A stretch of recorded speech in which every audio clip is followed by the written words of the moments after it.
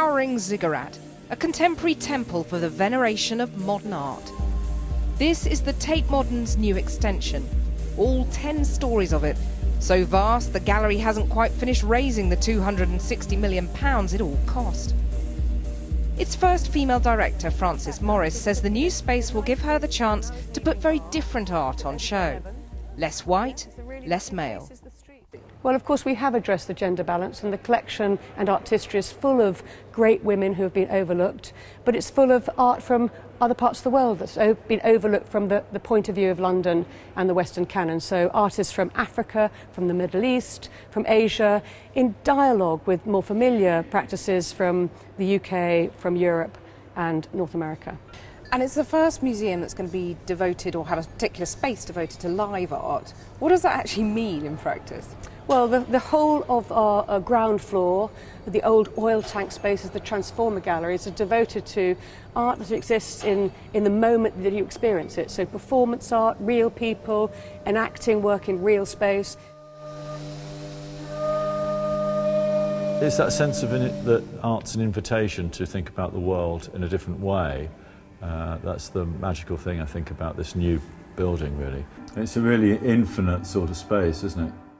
Artist Patrick Brill, better known as Bob and Roberta Smith, agrees to give me a magical mystery tour of the gallery and its contents. And As you say, it, it is as if it's infinite. The great th visual thing about it is that the, you can't work out what plane anything's in no. after a while. So Choucair is this Lebanese artist. She's uh, she's uh, 100 this week. Wow. And this piece, which is taking an idea about abstraction, but actually looking at it in an architectural way, mm. absolutely beautiful piece of work. And I think that's one of the real ambitions of this uh, of Tate Modern, this new opening out of Tate Modern, is to look at artists from around the world and try and put together the story of art around the world. This is a great piece. This is David Medalla. David Medalla was actually right in the centre of this kind of movement uh, called Fluxus, and it was all it, it, it was all about exploring art which is, in a way, here today, gone tomorrow. So kind of if the art's ambitious, the building more than does it justice. The soaring lines and innovative brickwork dovetailing with Giles Gilbert Scott's original structure. I think it's a triumph.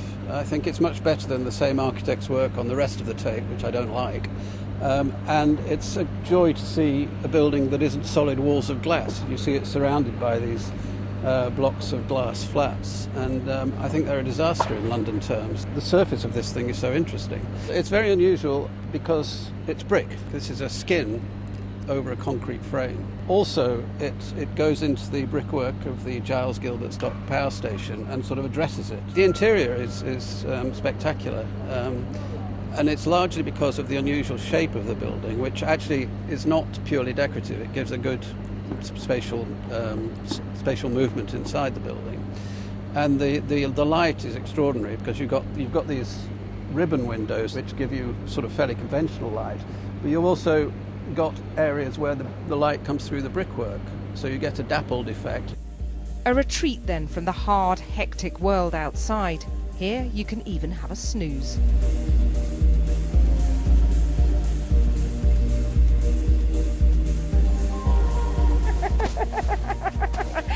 All got terribly out.